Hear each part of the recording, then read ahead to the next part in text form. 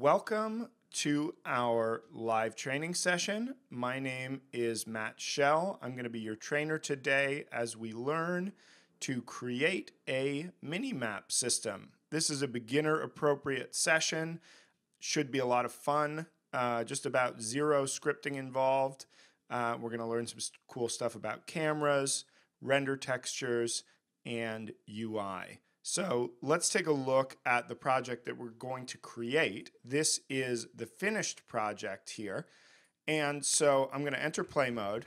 And as you can see, we have these tanks who can shoot at us. And then down here in the lower right corner, we have this lovely circular mini map with a little border that is being updated in real time uh, showing the positions of the tanks with a little icon in a flattened uh, orthographic view.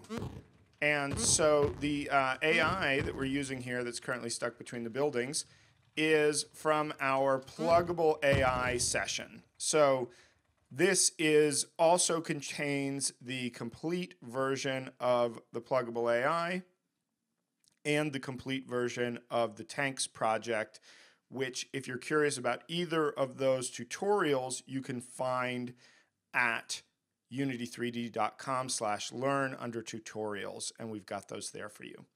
So this is the completed project that we're going to build. And so what we're going to do is switch over to our incomplete project here, where we have the completed AI content, the completed tanks content, and then we also have a folder here called Minimap. And this is the content that we're going to be using for today's session.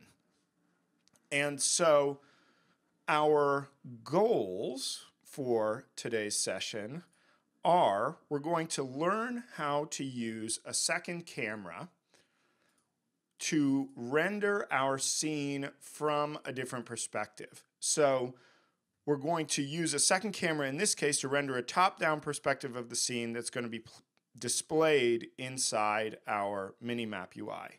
And so we're going to learn how to display that rendered image in game using a render texture. And then we're going to learn how to create the UI portion of the minimap using a mask and an image uh, to display it in the lower right hand corner of the screen. So there is an asset download for this session. You can download the assets uh, at the link shown on your screen. And those include the content that I just showed you, the completed AI, the completed tanks, uh, and the needed sprites and so on for our session today. So now that we've got a little overview of what we're going to do and what we're going to learn we're going to, in the next section, make our camera that's going to display our top-down view.